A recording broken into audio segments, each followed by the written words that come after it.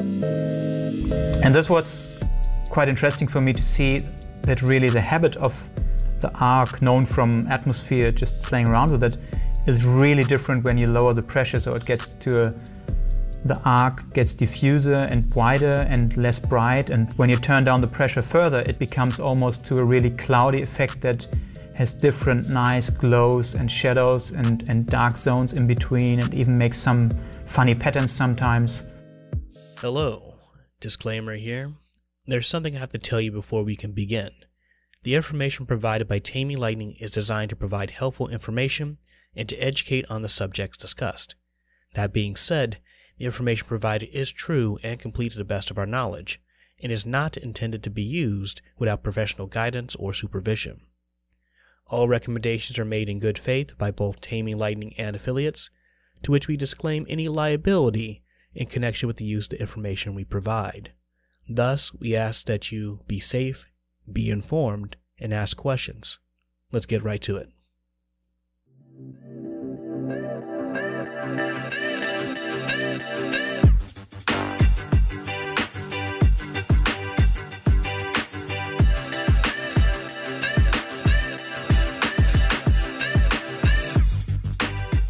Welcome back or welcome to the Taming Lightning podcast. I'm Percy Eccles II. I'm the creator and host of Taming Lightning, as well as the emerging plasma tech at Pittsburgh Glass Center. Taming Lightning podcast features a series of conversations to help expand our understanding of plasma and neon light, looking beyond its associations with novelty and sign making, and to explore the potential for noble gases as an artistic medium. Hello, Lightning Tamers. This is episode number 34. In today's podcast, we have a recording from 2019 during the Plasma with Blown Glass workshop taught at the Glass Factory in Boda, Sweden. I was invited to teach alongside Ed Kirshner and Jaime Guerrero, which was only made possible by the 2019 Advancing Black Arts in Pittsburgh grant. Now, I wasn't sure if I was going to release this episode, but seeing that we are halfway through the collaboration with Geex for the Intro to Plasma series, today's guest would be an opportunity to emphasize the need to have a growing respect and understanding of the components, knowledge, and skills as introduced in Chapter 2, besides showing another perspective on learning plasma from an engineering and technical background. Now, the person I'm introducing is Tristan August. He works for Konstruktiv in Berlin. Konstruktiv is a product manufacturing and rapid prototyping solution, with Tristan as their expert in creative solutions, electronics, manufacturing, and hardware hacks. Perhaps he and Dalibor Farny are kindred spirits. Among the participants in the workshop, Tristan was most familiar with plasma, yet he did not have any glassblowing experience. Now, this wasn't a problem since he was able to pick up on the glassblowing jargon and work with other participants to have his vessels made, much like Ed himself. With his technical understanding, he brought with him a plasma transformer he had designed and a few experiments he had made with glass tubing. In any case, I hope you enjoyed the last podcast of 2020, so let's jump right in. Uh, it's been four days in now, and uh, I'm really impressed with uh, Tristan's resume, but also uh, the curiosity coming from a research uh, and scientific background rather than coming from an artistic glassblowing background. And he's been really helpful in the class thus far, and so I'd like to welcome Tristan here on the podcast today. Hi. Um, can you kind of tell us a little bit about your background? Well, I'm I'm kind of like a self-made man. That is, I haven't haven't studied at university or so. So I've, I've played since I can think around with electronics, and my dad just just left over left left me a solder iron and some to- tools. So I, I, was whenever I saw something on on the street, some old TV or some I don't know DVD player wasn't available there, but but. Uh, video recorder or stuff like this. I, I, just took them apart and, and learned basically all myself from, from what's in there, why why doesn't transistors have three legs and, and all this stuff.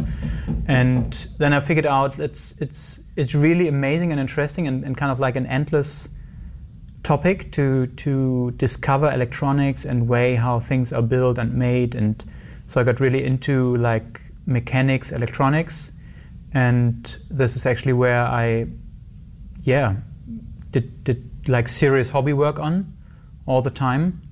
Um, besides school and stuff like this. So even at, at school, when when we had physics, um, after we, we talked about the triode, like the electron tube triode, um, in the break afterwards, I went to my to my teacher and said, "Do you have some electrodes, like like some some electron tubes around?" And he said, "Yeah, we just got a bunch donated from from a father of a child in the school." And and I said, "Well, can I play around with one?" And and I built my first uh, radio transmitter with a um, electron tube just just in the break after having the lesson.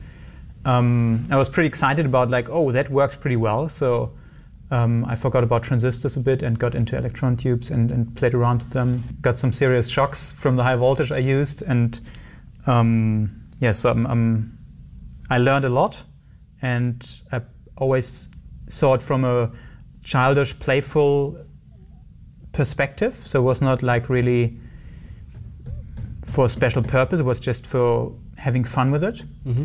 and then over actually a babysitter connection, I, I met my my last boss, and and she said, well, since you fixed all the stuff in our house, like the broken dishwasher and the broken blown up microwave and whatever, um, can you also develop a, a, complex medical device for us?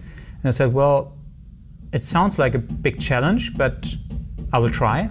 So divide and conquer. I said it's it's always possible to break down things in tiny subsections and, and figure these out and then bring it all together. Mm-hmm. So I started working at, at her company and um, yeah, basically did some some proper research and, and really like basic research and then developed a whole new medical um, cancer diagnosis uh, machine for them um, so it was treating tissue probes on, on slides and mm-hmm. stuff like this. And um, we ended up being a team of five people working there um, in the development, in the R&D. And for good six years I was working there. And, and afterwards I figured out with a good partner of mine that I knew from school already. Um, he was at this company responsible for the CAD construction of all the 3D parts that we designed and, and got made externally and, and internally as well. We had a CNC mill. Um, then we figured out, well, medical stuff is nice, but it's al- already getting a bit boring because it's so one-handed. Mm-hmm. And so we we figured out we will make our own company, and that's what I'm doing now for six and a half years with him together in Berlin. And yeah, so we're running actually a, a proper equipped workshop and having a team of seven people at the moment, where we design concept um, prototypes and, and solutions for different very different topics like medical university research stuff uh, bigger companies that just need more brain power on designing some new skills or new stuff. Um, actually training and teaching people coaching young startups that, that need help for some reason. Um, don't have enough experience in specific topics and, and so we yeah, we, we're into all this and we usually build prototypes in our workshop that go then to the customer and they evolve and, and iterate on this and feed it back to us and say, well, we need more this and that, and then, then it's fine. And since we come to a, uh, when we come up to a, to a like ready product state, we make it, um, we hand it over probably to a professional producer that is capable of producing high quantities. Mm-hmm. Um, that's one thing we don't do because we are too expensive for production, for, for serious production, mm. and we don't have the facilities for this. So we are really like more the brain guys who, who really create the new things and thoughts and, and techniques. And once it's running and, and doing well and, and it's proven that it's working and reliable, then we hand it over to a company. And the name of the company that you work Const- with? Konstruktiv-berlin.de. So constructive. Yeah. yeah. And does your education background feed into this, or is that completely yes. different? Yes, it. Uh, I, I did a training in um, metallurgist, so I, which is basically a, a job where you, um, when you work as a metallurgist, you basically quality control or research or validate some incomes and outcomes of big factories like car industry, for example, if they do some molding some parts, like like deep drawing some sheet metal, they need to make sure that's the right metal, the right alloy, the right tempered, like, like annealed situation, and so on. So you control this mm. by taking samples, looking under on, under microscope to the crystal structure that can tell you a lot about the habit, the, the properties of the material. And this is what I learned actually. Um, we also digged a bit into ceramics and plastics, but mainly metal.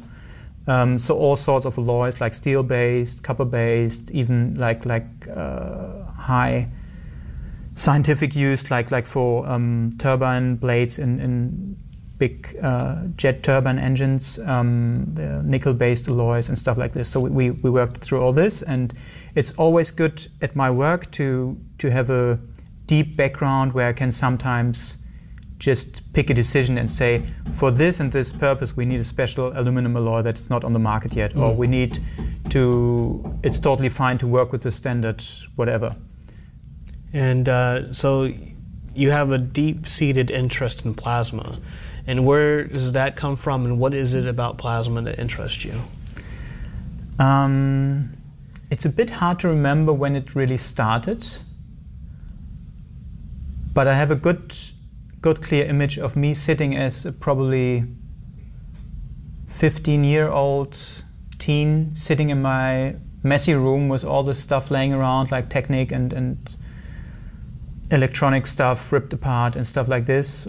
Um, and I played around with actually a decoration ball, like half a head size, I would say, um, from made out of plastic, and I sealed with some hot glue on on the rim where it's on the equator where it's taking apart, and I melted two injection needles into it and hooked up some high voltage and sucked out some air with an airbrush compressor that was just laying around um, out of one of the needles.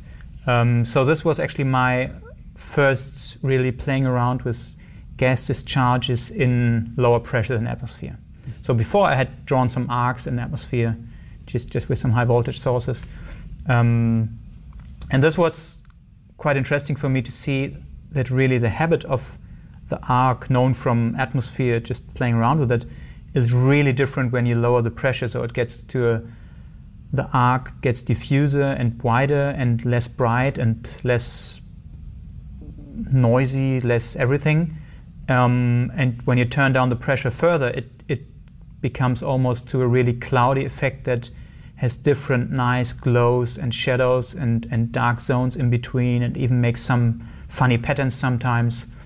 And this actually grabbed my attention quite a lot to, to see what's going on there, to try to understand it from a, from a physics and, and mechanical perspective, but also just playing around and glimpsing at these beautiful things going on in, in some enclosed evacuated containers.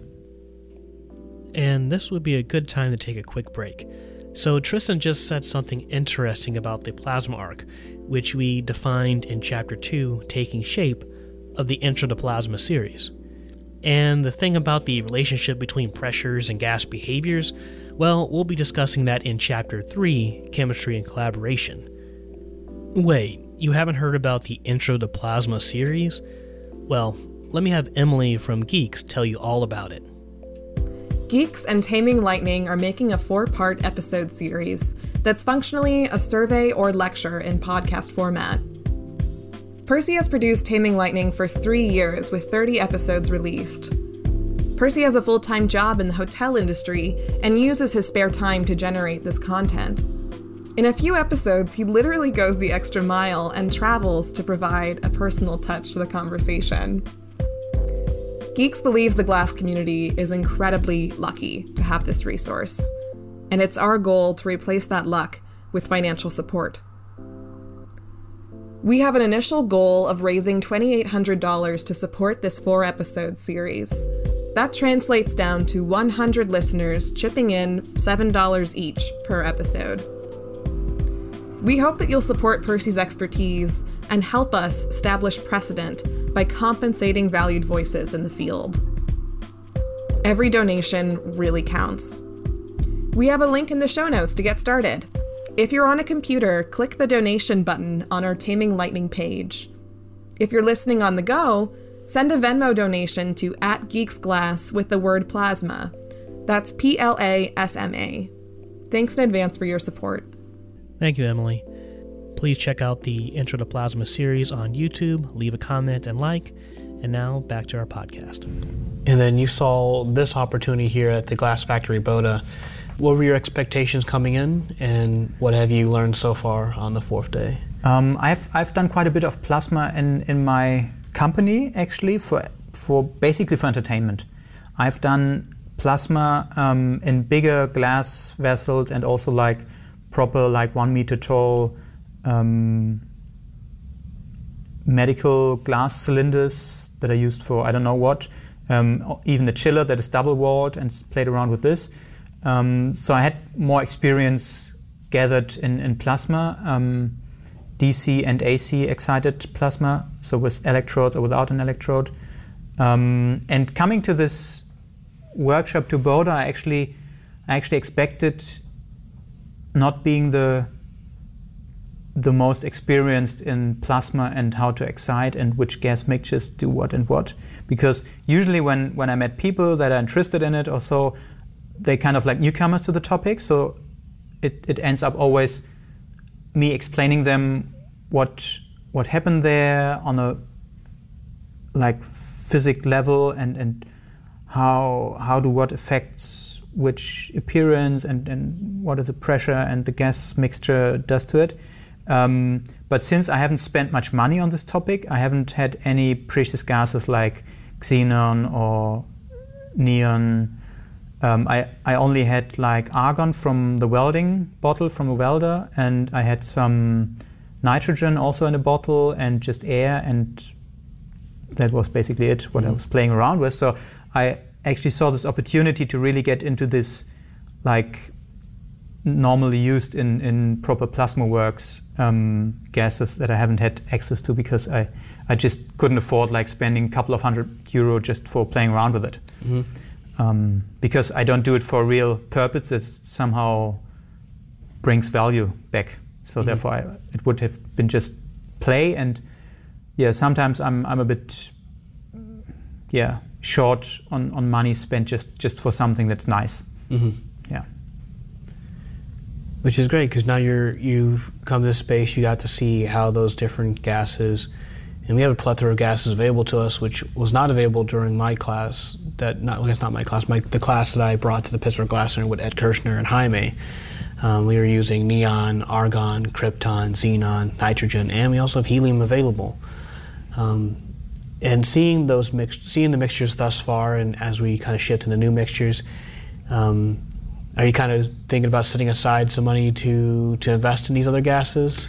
Yes, I'm actually looking forward to, to try to get in contact with some plasma and or neon guys back to Berlin or Germany mm-hmm. and try to figure out if they have some of these gases and let me play around with it for a while and, and I can just give them the money for the gas I used mm-hmm. or if they are short on some gases that are interesting for me as well and just say, okay, let's get another bottle, bottle of it and, and let's play, play around together with it. Mm-hmm. Um, I definitely think this will happen.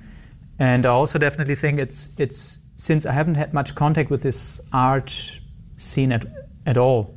I mean, we have worked for artists with our company, like seriously, but um, I haven't had so much contact, for example, with glass blowing and glass making and, and, and doing all sorts of different nice sculptures being afterwards evacuated and filled with proper gases and lit up mm-hmm. in a plasma way. Um, I think I'm.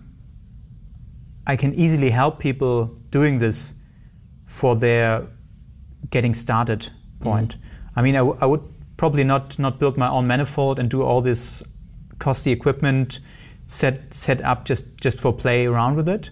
But it, it might be ending up that I don't know, somebody comes and, and says, well, I, I always wanted to do this, so can you help me doing this? And then, then it can kind of like work together and he's, he's in charge for, for yeah, getting, getting all the gases and I'm in charge for, for building, gathering the parts for the manifold and, and building the manifold, for example. In addition to that, you've also been working with building your own transformers, and uh, you're fairly comfortable with doing that. Yeah. Is there anything that you can kind of say about that that may be interesting for people to hear? Well, I've I've always played around with like visible electronics, so to say. So LEDs, lasers, high voltage where you see an arc, or something that gives you a direct feedback if it works or not. Um, I remember these days when we were in, in school still, we, we, played around with building radio transmitters um, to get kind of like a pirate radio running with a really low power, just, just, to, just to prove that we did it. Mm-hmm. And it was having not proper high frequency measurement equipment and so on, it, it, turned out to be completely almost impossible to prove that you succeed or not because mm-hmm. you, you, you tune around and hear something cracking in the radio and you don't know if it's your transmitter or just some, some other sparks going around somewhere. Yeah. And it kind of like ended up being really frustrating because it's kind of like a way where you where you build something after a drawing in a book or after a circuit that you got from somewhere um, and you can't say if it works or not.